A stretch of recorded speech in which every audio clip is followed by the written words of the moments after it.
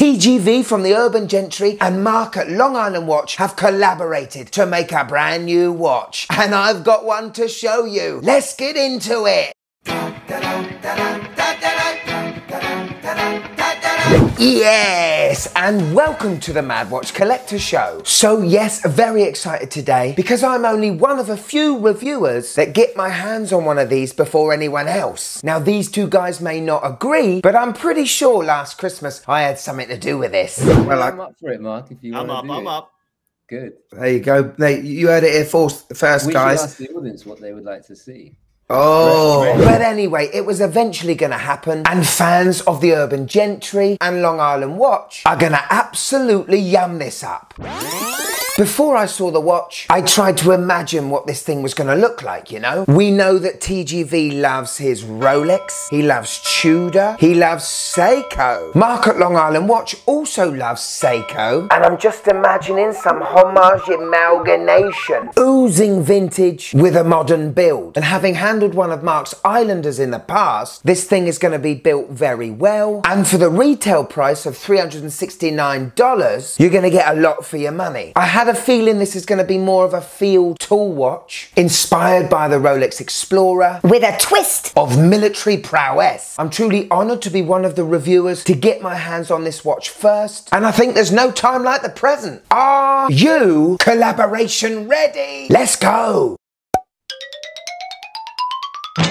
So here it is, the Rangemaster. What a name. Copyright checked. But just that name gives me Omega vibes as well as Tudor vibes. And as we can see with this beauty, we've got some great heavy inspiration. What a tooly mother lover. First of all, I'm getting the do all, do everything type of vibes. This can be your work watch, your weekend watch, your exploring watch. The proportions look spot on, and I think they've nailed the overall look. The case is definitely heavily inspired by the Seiko SARB 033. We know that TGV loves that watch. For anyone that does own that SARB 033 knows that the first thing to scuff up is that polished bezel. Well, on this Rangemaster, the bezel is brushed, giving that extra tooly tough look. It's just a beautiful case. I love the step down to the polishing on the sides. Awesome crown at three o'clock, which is signed with the Islander logo. The watch feels really good in the hands. It doesn't feel too heavy and it doesn't feel too light. And first impressions, I think this could be a winner. Quick spec check. So the case is 38 millimeters in diameter. It's 10 millimeters thick, which is incredible. Seeing that this is a watch with an automatic movement. It's 44 and a half lug tip to lug tip. A strapaholic lug width of 20 millimeters and a weight of just under 130 grams. Absolutely spot on sizes for me. This will not only slip under a cuff, but as the crown is screwed in, as well as the screw-in case back, this watch gives us 100 meters of water resistance. So pretty much you can do anything with this watch. We've got a sapphire glass protecting the dial and it has anti-reflective coating on the inside. Now let's take a look at the case back.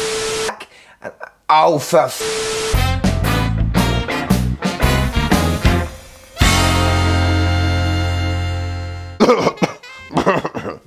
Darling, could you put some alphabetti spaghetti on the hob, please? I'm feeling a little tender.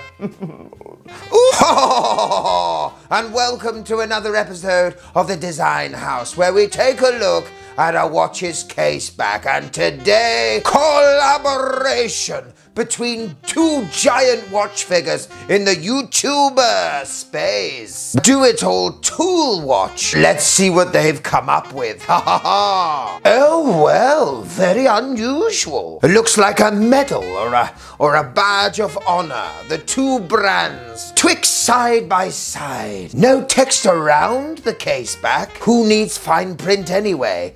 Ah, lovely frosting to the stainless steel. What a very unique way of doing things. and there you go, simplistic yet very effective. Something I must remember. I'll see you next time for another edition of the Design House. Cut.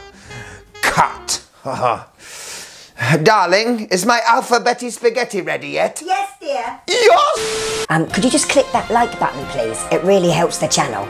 Thank you. I've got to say, I do love the bracelet. Has a really nice taper to it. Three link oyster style, solid end links, solid links. We got screw pins, which are fantastic. And keeping on the theme of fantastic, I really love this clasp. Take a look at the TGV lion emblem. It's a milled clasp, very well done. And even though it is a small clasp, we still have three micro adjusts. Okay, let's take a look at the face. Dial time. Fantastic military matte black dial. I love the chapter ring stroke rehaut around it. This has been inspired by Mark's Breitling Aerospace. Love the touch of red at the 12 o'clock. I also love the minute track with the gap either side of 12. That is a military maneuver to help with the hacking of the seconds hand. But get a load of those trapezoids, will ya? Straight out of the Seiko Monster playbook, I feel. Monster Gen 2. Love those monster teeth. Everything's printed on this dial with heavy application of lume. We got the little tip of the hat to the Explorer with the 3, 6 and 9 numerals. I do love the touch of having both brandings either end of the hand stack. And then we start to get our Tudor influences. Under the word Islander, we have the word self-winding, which was in previous iterations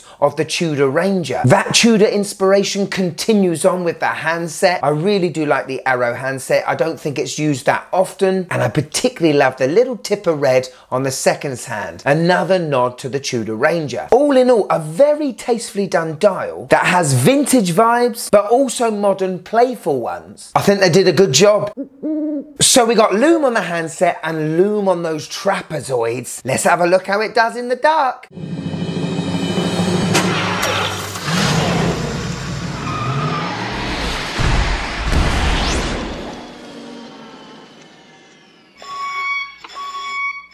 So a not bad score out of 10. I think I could have charged it for a bit longer, but we have a lovely blue BGW9 luminescence. Maybe another little nod to Rolex's Chromalight glow, which is bluish. Nice touch. Inside the watch, we've got a Miyota 9039, a no date hacking hand winding movement, which is automatic, 28,800 beats per hour with 40 hours of power reserve. It's a great little engine. The only thing I would say is when you're operating it, Miyotas tend to be a little bit gravelly. You less feel like you're winding a watch up, And more like you're pushing an old Fiesta across a gravel road. but it's a very good workhorse. Hello. on my six and a half inch wrist and this watch fits me perfectly. I love 38 millimeter watches, particularly field ones. Even though this watch looks simple, there is a lot of detail to it. From the dimensions to the water tightness. This is one of those one watch collection watches, isn't it? I love how there is just enough influences with watches from the past, with the modern build. These guys have made something quite nice here, haven't they? I love the fact there's no date, and it's so goddamn thin. Give us the negatives! In an ideal world, I'd love a Swiss movement in there. Something with a nice wind. Even though this Miyota 9039 beats away the same, it's just not massively great to play with, you know? Not that you should be playing with it. It's a tool watch after all, not a fancy luxury one. I would probably have tweaked the dial just a little bit. I probably would have taken away the Islander logo from the dial, put the lion crest up below the 12, had the text Islander a little bit bigger, and then another line with the water resistance, as well as the cool self-winding part. You've got that Islander logo on the crown as well as the case back, and that would given it just a little bit more of a vintage look. But that's just me. Now the guys have only made 500 of these watches. I personally think they're gonna sell like hotcakes. And if you do have the money to spare, you won't go wrong with taking a punt on one of these.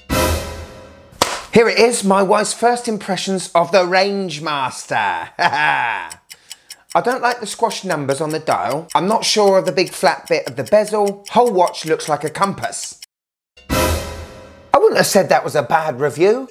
Thank you once again to TGV and to Mark at Long Island Watch for giving me the opportunity to show this watch off to you first. If you've watched till the end of this show, thank you. Subscribe, and if you'd like to get more from the Mad Watch Collector channel, click the join button right there. And why don't you stay with me for a bit longer? Take a look at this show. This is a beauty. Oh, some of my finest work. yeah, click it. Go on, click it. Come on, click it. You can get a cup of tea in a minute. Click it. Click. Click it!